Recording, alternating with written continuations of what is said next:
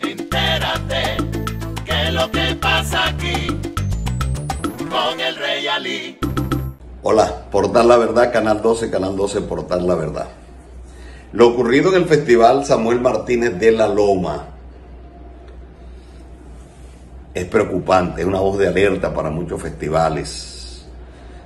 Este es el momento que no hay rey vallenato en categoría profesional en la Loma. Ya les voy a colocar un video donde el Pollito Herrera, después que hace su presentación, al parecer ahí el jurado levanta unas paletas y da el puntaje de una.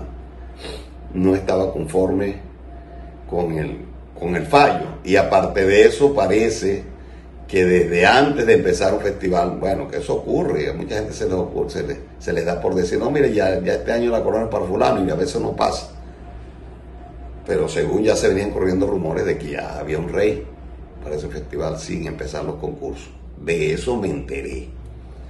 En plena final, Pollito Herrera, cuando ve el puntaje, dice, no, yo me retiro esta vaina, yo no.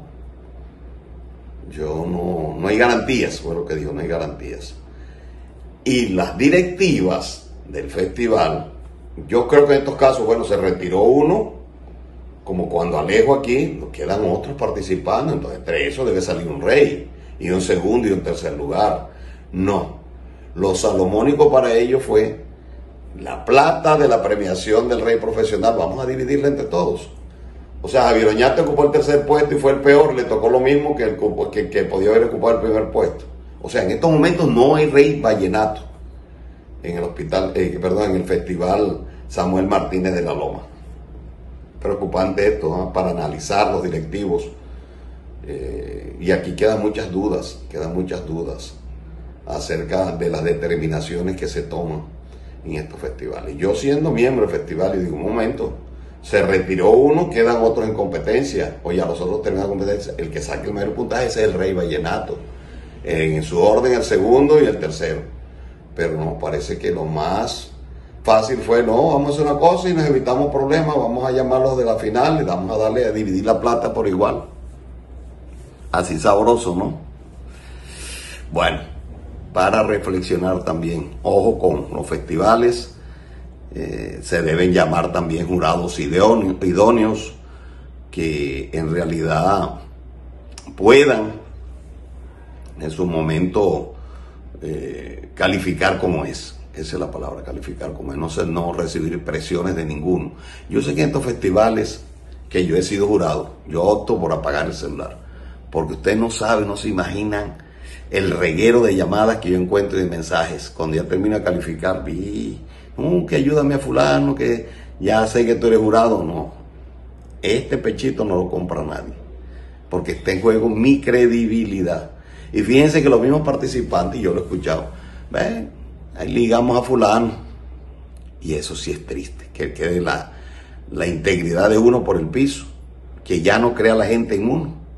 No, yo eso sí no. Yo soy justo y de acuerdo al conocimiento que yo tengo de música vallenata, que creo tener y bastante, yo califico bajo ese criterio. Yo no como el cuento, ni que el, ni que el jurado que tengo a un lado o en el otro lado, hey, ven acá, Dios, ven, hay que... No, señor. Déjeme que yo estoy calificando lo mío. Yo doy mi puntaje, ustedes califiquen lo de ustedes. Entonces, preocupante lo que pasó en la Loma, en la categoría profesional. Para analizar no debe ocurrir, no en la Loma, en ningún festival de música vallenata. Nos retiramos, pero nos retiramos con honor. Sabemos que nosotros estamos haciendo las cosas bien hechas y eso se sabía desde temprano. Bueno, la Loma lo queremos mucho y Dios lo bendiga. ¿Cómo? ¿Se acaba de retirar el Pollito Herrera? Este jurado vino, compró con, con la Junta Organizadora en cabeza de Jorge y lo voy a denunciar. Uy. El presidente lo trataron de pendejo la tarima y no dijo nada.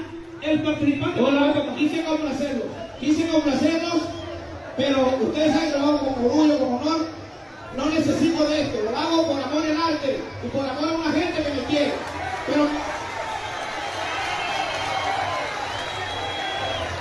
Se pronunció el Pollito Herrera, se retiró de la competencia. Dice que por falta de transparencia.